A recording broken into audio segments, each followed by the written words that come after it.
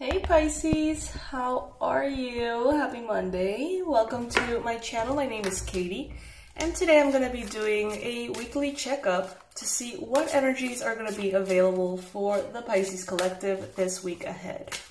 Happy Valentine's. Today's Valentine's. So that's exciting. Let's see. Let's see. Spirit, please bring in the most relevant messages for all the beautiful, beautiful Pisces subscribers watching. This goes for Pisces Sun, Moon, Rising, and Venus. Ooh, well, this goes very well with the date. um, we have the Knight of Cups. So this is an offer of love. You may be receiving an offer of love today, my beautiful fishies.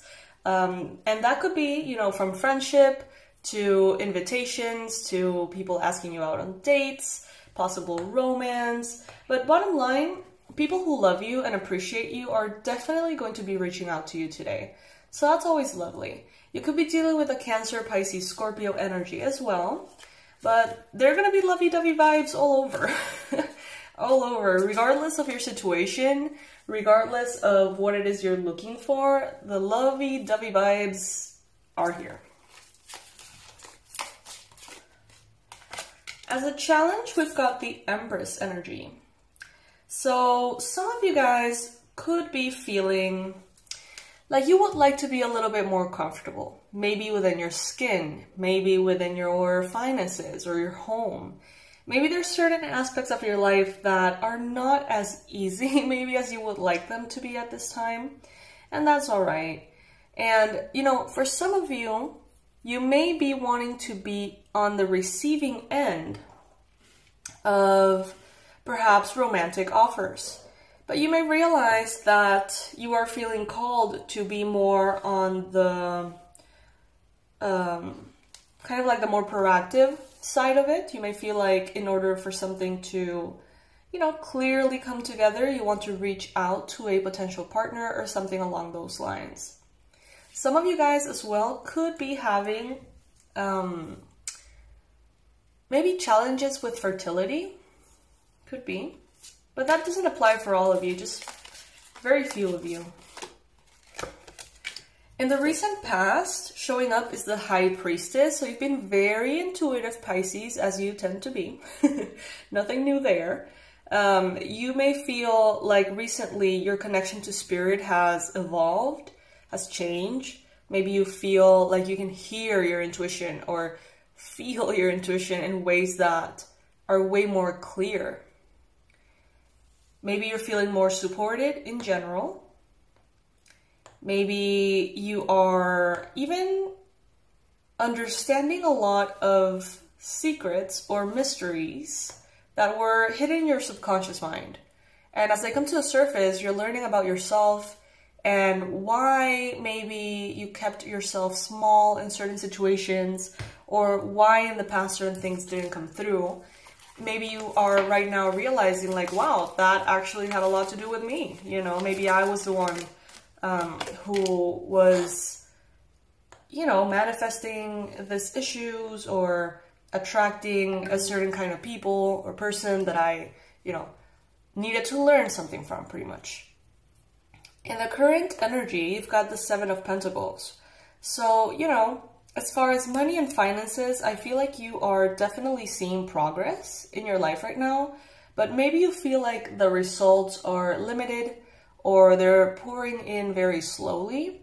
And maybe you would like to, you know, see that be a little different. Maybe you will enjoy um, having a little bit more kind of evidence of your success or the progress in the maybe projects that you've been doing and things of that sort. But you're being patient. It seems like you it seems like you're trying to, you know, honor the seeds that you have planted and cherish them, love them, appreciate them. Even if you want more, you know, still appreciating what is. In the near future, we've got the King of Wands. So that is Aries, Leo, Sag energy. Beautiful. You're going to be feeling First of all, very energetic. That's the first thing that jumped out of the card. um, very, very energetic. Lots of vital energy, desire to do things, inspiration, motivation, drive. You're also most likely going to be pursuing things that make you more passionate. And yeah, I know that sounds kind of redundant with what I just said, but I actually mean it in a different way. Like, if your life has been all focused on work, you're going to start to implement other areas that inspire you in a different way. And you're going to be able to balance them out very well. You're going to be able to really give yourself what you need in a way that will not burn you out, in a way that will not affect you, in a way that will not, um, you know, sacrifice your progress. It won't distract you but you are um, ready to give to yourself in an area that makes you feel just plain happy, okay? Not necessarily productive, not necessarily efficient, but happy. Your energy right now is showing up as the Two of Swords. So you may be thinking, should I do this? Should I do that? There may be two options here. Maybe you don't know exactly how you feel about something. Maybe one minute you feel really excited, and then the next minute you feel very anxious. and you go back and forth from being a little bit intimidated or afraid to being super excited about it. And that's okay, you know, both things can be true. They can coexist. We're getting closer to the full moon in Leo as well. In your environment, there seems to be a lot of joy. There seems to be a lot of celebration, you know. I feel like you're highly appreciated by those around you. Those around you want to be want to see you happy. Not because you're not, not because they feel like there's something wrong with you right now or anything. Just because your smile brightens their day, you know. They love you. There's people in your life that really, really love you and just want you to be able to enjoy kind of like the fruits of your labor. They know that you have worked very hard in your life in general, you know, in yourself, personal development, in your um, maybe relationships, in your work, in your health, and they just want to see you happy. So there's a lot of celebratory energy around here. With the hopes and fears, you've got the devil card. Some of you guys could be dealing with a Capricorn person at this time you may have hopes maybe to, you know, have this person do something or say something or act somehow. And you may at the same time have a little bit of fear. I feel like for some of you, this could be kind of like a toxic bond or connection. Maybe you want to hear from them. Maybe you want them to ask you out for Valentine's, or maybe you want to, you know, be in a position in which you can reject them. That's what I'm getting um, in order to feel empowered. But you know, this connection with this person and these hopes and fears that you may have with them um, do doesn't seem to be coming from the best place. Because this is, you know, a card about toxicity. Then we got the Seven of Cups and the Wheel of Fortune. Beautiful. So yeah, there is definitely that back and forth, you know, and the Ace of Wands. Definitely this back and forth. Should I, shouldn't I? Do I want this, do I not? Which one is the best option? You may receive an offer of love that is healthy and good and appropriate and most likely very successful going on, you know, in the future. Um, like if it happens, it's going to be very successful. But you may also receive perhaps a gesture of love or appreciation or sexual attraction or something from someone that you know is not it. you know, someone who you perceive as toxic, you understand as toxic. And, you know, within every connection, toxic or not, there's always, you know, beautiful things and things we resonate with and things we are attracted to. So you're definitely going to be kind of bouncing back and forth um, with your interests from one person to another or from one, you know, desire to another. But they're telling you here this is divinely guided. So you can relax, you can chill, you can allow yourself to celebrate. There is a very beautiful, passionate uh, new beginning here. And it is meant to be. So let it be. All right, Pisces. You're going to be having great luck as well. You're going to be having kind of like this uh, Midas touch. I think that's that's um, what it's called, right? Everything that you touch turns to gold, that kind of thing. Especially if there's passion and inspiration, okay? So if there is something that you are embarking on and you're kind of like, ugh, you know, I guess I kind of kind of have to do it, you know, then that is very likely going to be reflected on the results that you have. Like even more so than, you know, normally would. But if you are like, oh my god, yes, like this is, yes, I want this, I want to do this, this is exciting, I can't wait, then that is definitely going to be also the energy that goes into that and influences the energy that comes out of that, right?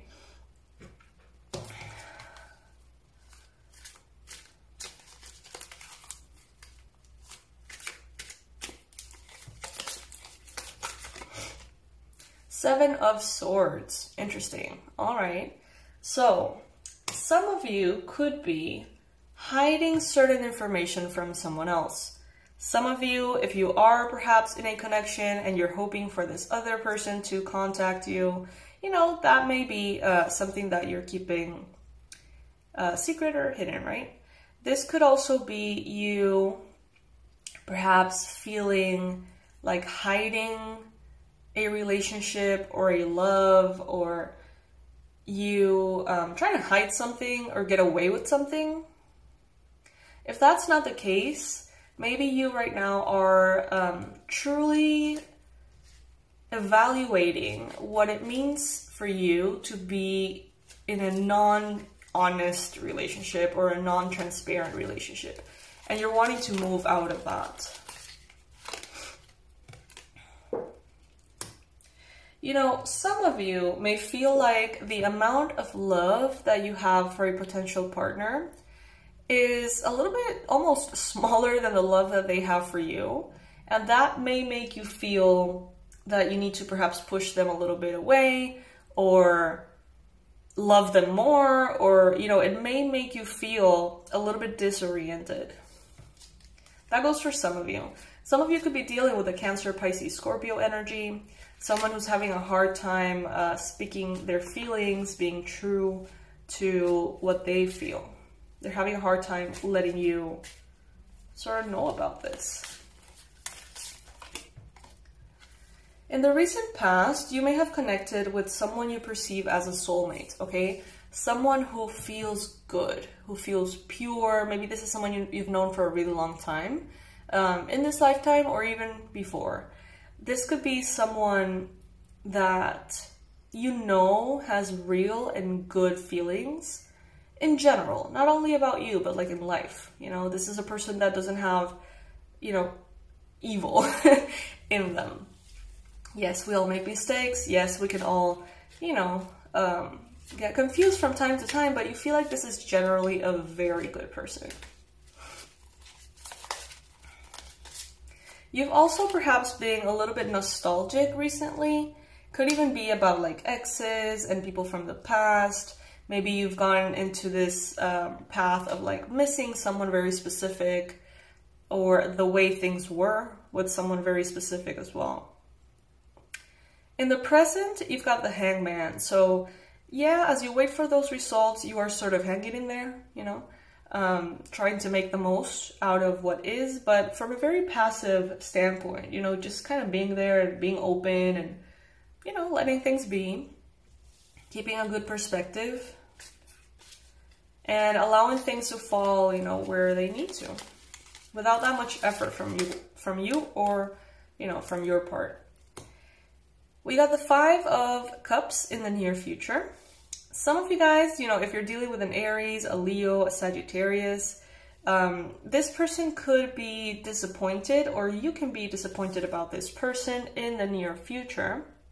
There could be a sense of magnifying the things that are not perfect or not good. Maybe if, you know, you've been through um, difficulties with them, if there has been any kind of, you know, secrets and shady behavior, you may find out about it or accept it or admit it. It's going to come to the light pretty much, um, whatever context we're talking about. And, you know, there's still a lot of hope moving forward. Like if you want something to work, focusing on the good is not denial. Focusing on the good is actually um, a little bit more objective because if you focus on the spilled cups here, um, the spilled milk, you know, what already happened, what you can't really take back, if you focus on that, then you're going to forget all the good things that are there.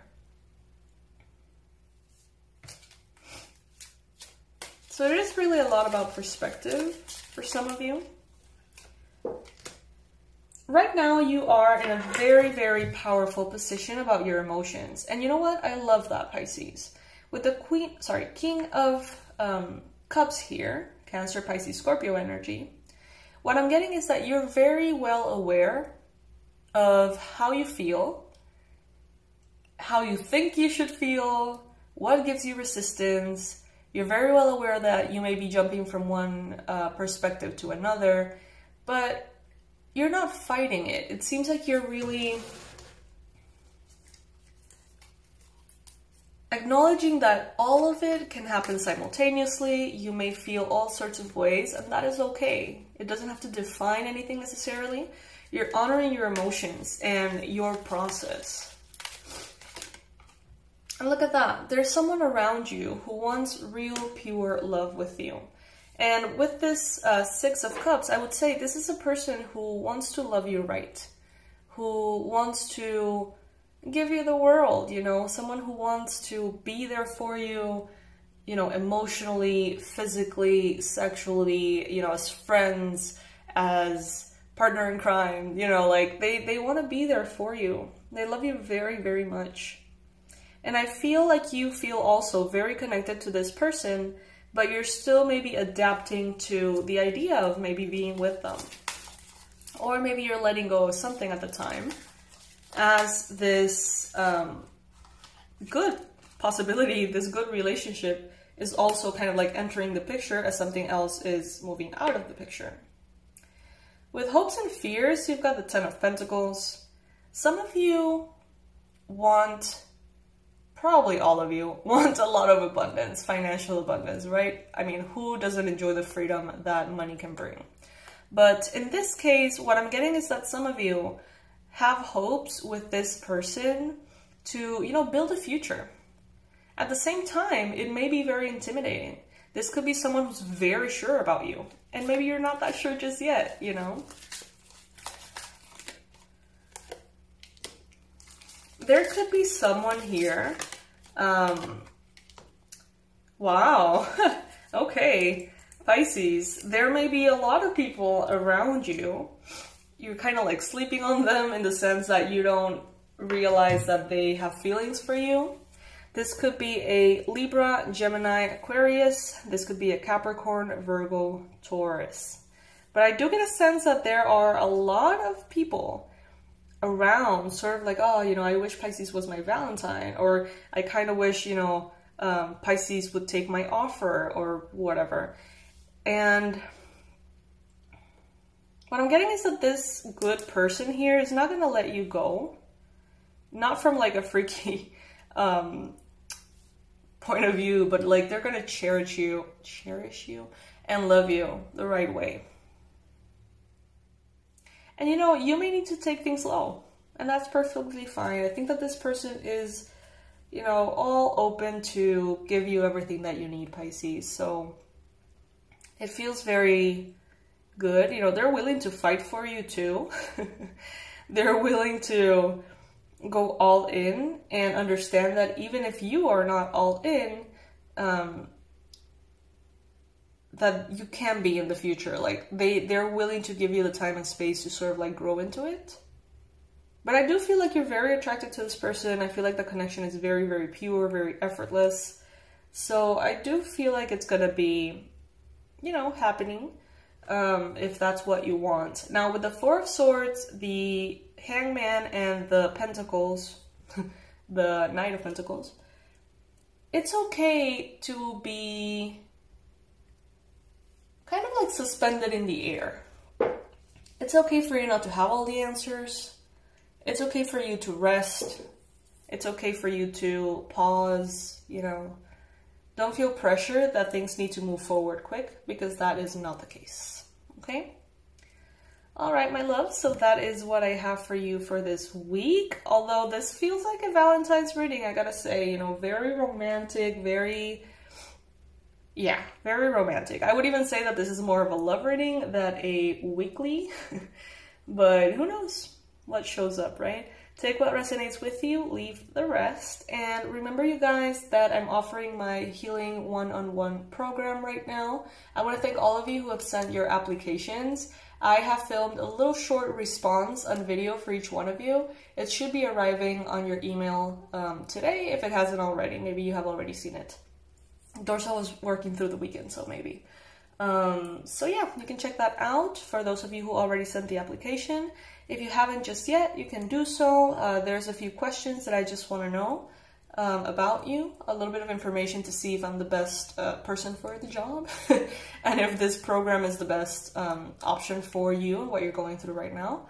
The link is going to be below. You can film a little video if you like, that would be great. But if that, you know, makes you feel a little uncomfortable, you can always um, write down and text, you know, the answers to those questions. I would love to hear all about it. And if you don't know what I'm talking about, there's also a video explaining everything. It's going to be the first link in the description box below. It's a one-on-one -on -one program, four to six months, in which we work together through video calls and other, um, a lot of other, you know, cool things to help you out with whatever it is you're wanting to manifest and getting you out of, you know, if you're feeling like you're in a rut, if you feel like you haven't really recovered from certain punches in the face that life could have, you know, given you. if you feel like you're having a hard time getting out of that state, maybe there's been, you know, years in which you just don't feel like yourself anymore and you really want to get out of that but you haven't been able to, that's kind of like the whole point of the program. So let me know if this is something that interests you. I'm going to leave all the info in the description box below and I would love to help you guys out with anything. Website, tons of tools, discounts, check it out. Subscribe and I'll see you in the next one, my loves. Happy Valentine's.